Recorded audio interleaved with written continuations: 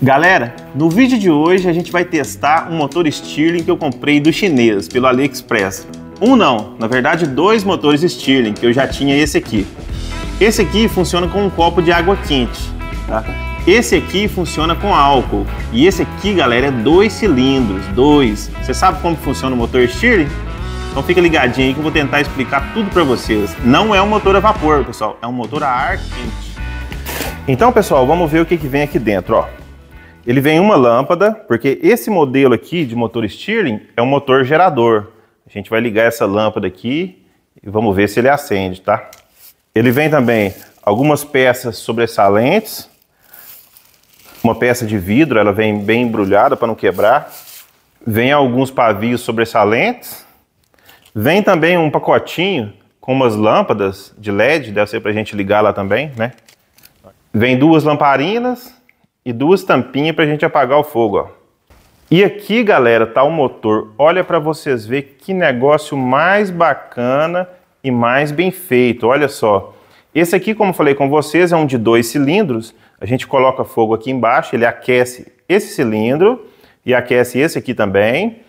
E ele gira esse aqui igual um louco, ó, em alta velocidade. Vocês vão ver que bacana. E ele tem também um gerador, né, que é tocado por essa correia aqui, ó. Vocês vão ver ele funcionando, que bacana.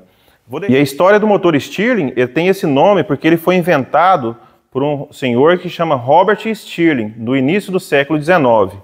E ele foi inventado porque os motores a vapor explodiam muito, estava explodindo demais na época. E esse é um motor muito seguro, porque ele não usa vapor. O vapor acumula muita energia. Já esse modelo não. Vocês vão ver que legal e como funciona bacana esse sistema.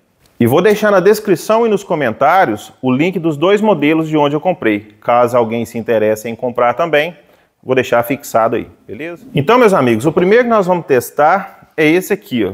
A gente vai aquecer um pouco d'água aqui nesse fogão. E ele não é a vapor, tá? Ele usa água quente só para aquecer essa superfície. Podia ser também uma vela, mas ele é feito para ser aquecido com um pouquinho de água quente no copo. Vamos ligar aqui, ó. A água já ferveu, pessoal. Ó, como vocês podem ver, a água só ferve a 100 graus altitude do mar. A gente está mais alto aqui, né? Vamos despejar um pouco de água quente aqui. Tomara que o copo suporte, né? Que está bem quente. Ai, tá muito quente essa água. Tô com medo do copo rachar. E agora, observem só que se eu fizer isso aqui, ó, o motor gira e para, tá? Agora a gente vai colocar ele aqui em cima do copo. O fundinho dele aqui vai aquecer. O fundo dele agora ó, já está bem quente, eu posso sentir, eu colocando o dedo, muito quente mesmo. Aí vou colocar ele aqui de volta. Ó. E agora é só a gente dar o primeiro impulso nele. Ó.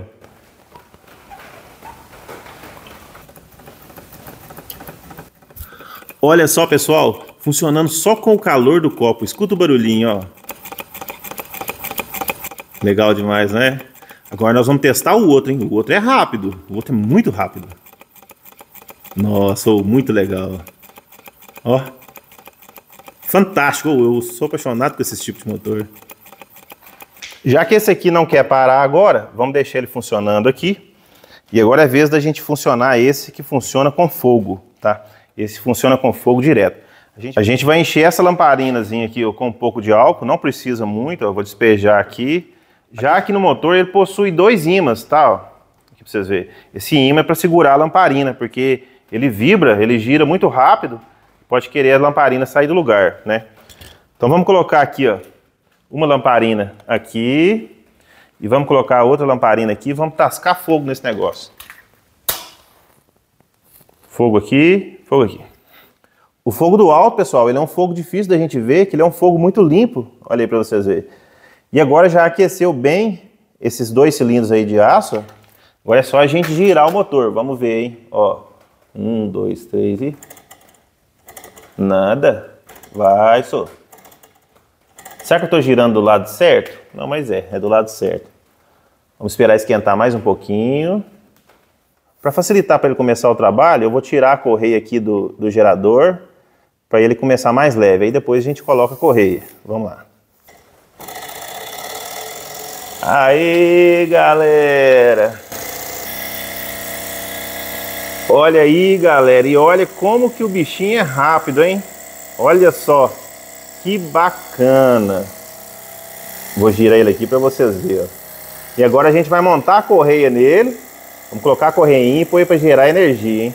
Para isso, o que, que eu vou fazer? Vou parar ele aqui. Vamos colocar a correia aqui no lugar de volta. Vamos pôr para girar agora com o, com o gerador, ó.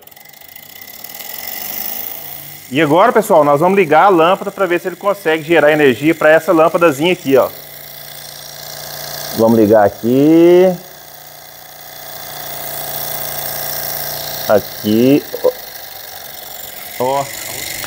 Olha aí, galera, gerando energia elétrica a partir do fogo. Se a gente parar ele aqui, ó, vocês vão ver que a lâmpada vai apagar.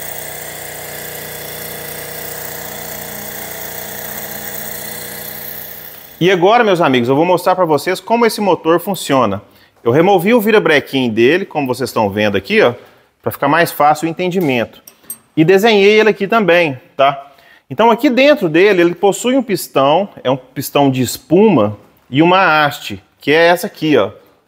Tá vendo, ó? Na verdade, esse pistão de espuma que tem aqui, ele tem um espaço entre ele todo que o ar consegue circular aqui, ó. Ele, esse pistão de espuma serve só para preencher espaço lá dentro. Ó. Vou mover aqui para vocês verem, ó. ó para cima e para baixo, tá vendo? Só para preencher o espaço do ar. E aqui ao redor, o ar consegue passar pelas laterais. Então, quando o pistão vai para cima, o ar é obrigado a ir para o lado de baixo. Quando o pistão vai para baixo, o ar passa pelos cantos aqui e é obrigado a ir para cima. Então, meus amigos, como que ele funciona? Quando a gente aquece essa parte inferior, o ar que está aqui dentro expande. Como o ar não consegue passar por aqui, ó, que aqui não tem furo, ele quer passar por esse furo do pistão, né? E aí, quando ele expande, o ar expande aqui dentro, ele empurra, ele passa aqui pelos cantos e empurra esse pistão para cima. Ele empurrando esse pistão para cima, ele toca a manivela, faz a manivela girar e faz esse pistão descer. Quando esse pistão desce, o ar que está aquecido aqui embaixo é obrigado a ir para cima. E essa parte aqui que está fria, agora, faz o ar encolher. Então, o ar veio para cima e encolheu. E na hora que o ar encolhe, ele puxa o pistão. Então fica esse movimento, ó. Vou colocar ele aqui para ir aquecendo. O ar esquenta, empurra o pistão, o pistão faz a manivela girar, a manivela gira, faz o pistão descer de novo. Quando o pistão desce, o ar passa aqui para cima, o ar esfria nessa superfície aqui, ó, que está fria e fica um ciclo de ar esquentando é, e aumentando de tamanho. Na hora que o ar passa para cima, ele esfria, comprime, diminui de tamanho e fica puxando e faz, puxando e empurrando o pistão para cima e para baixo, para cima e para baixo. E agora que aqui já está aquecido, ó, a parte de baixo já está bem quente, vou mostrar para vocês como que funciona ó, na realidade. Ó. Quando a gente ergue aqui, olha lá para vocês verem que o pistão sobe, porque o ar foi para baixo, aumentou de tamanho, e empurrou o pistão. Quando a gente desce aqui, o ar passou aqui para cima, porque teve contato com a superfície que está fria, reduziu de tamanho, sugou o pistão. E fica esse movimento, ó. olha para vocês verem que bacana. Ó. Isso aí faz o motor girar, porque esse pistão faz força na manivela e a manivela faz esse daqui da espuminha mover para cima e para baixo. Então, meus amigos, esse vídeo vai ficando por aqui. Espero que vocês tenham gostado de mais esse vídeo é o motor Stirling do chinês, né? Vou deixar para vocês aí na descrição e nos comentários o link de onde você pode comprar ele. E vou colocar ele para funcionar mais um pouco aí. Olha para vocês verem, que bacana. Motor Stirling do chinês. Motor que funciona com fogo, né pessoal? Combustão externa. Muito legal, né? Até o próximo vídeo, viu? Bye!